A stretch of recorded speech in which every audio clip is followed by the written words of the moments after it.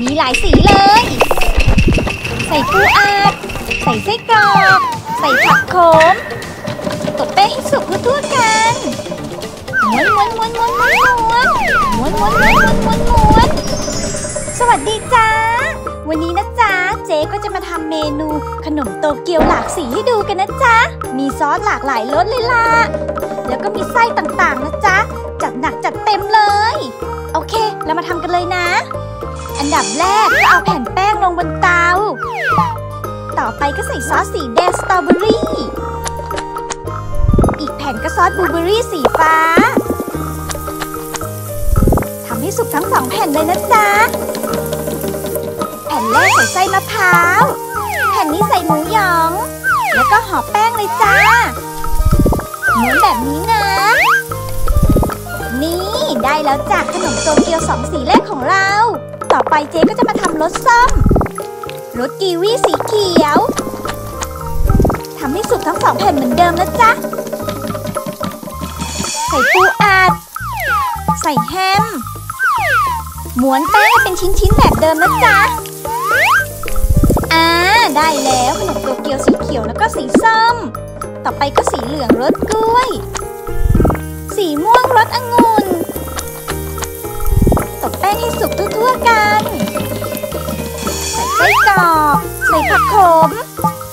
ทำให้สุกทั้งสองแผ่นเหมือนเดิมม้วนแป้งม้วนม้วนม้วนม้วนม้วนม้วนม้วนม้วน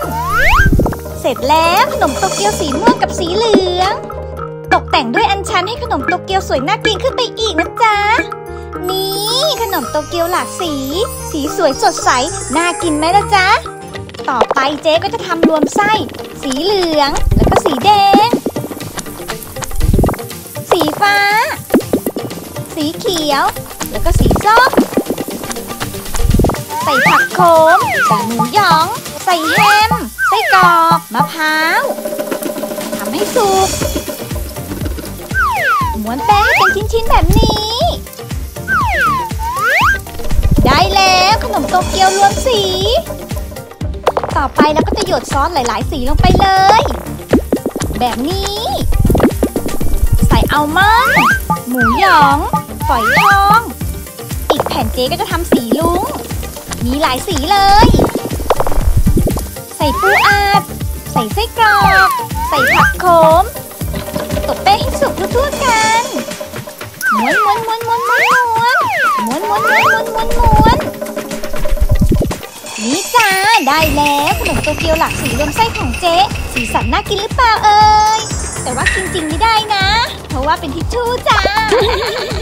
ถ้าอยากรู้ว่าคลิปต่อไป เจ๊จะมาทำเมนูอะไร ก็กดติดตามช่องกันไว้ด้วยนะจ๊ะ วันนี้เนี่ยเจ๊ก็ไปก่อนนะ บ๊ายบายจ้า